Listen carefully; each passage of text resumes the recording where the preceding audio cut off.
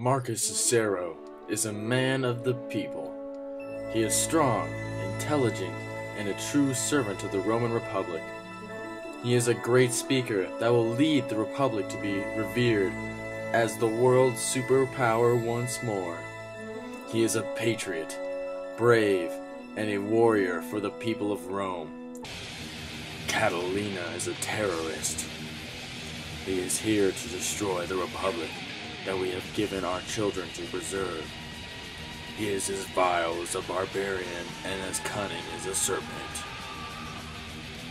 Catilina, for all we know, could be a pedophile and a rapist. We need to keep our women and our children safe from this madman. Do not allow this monster to take over Rome.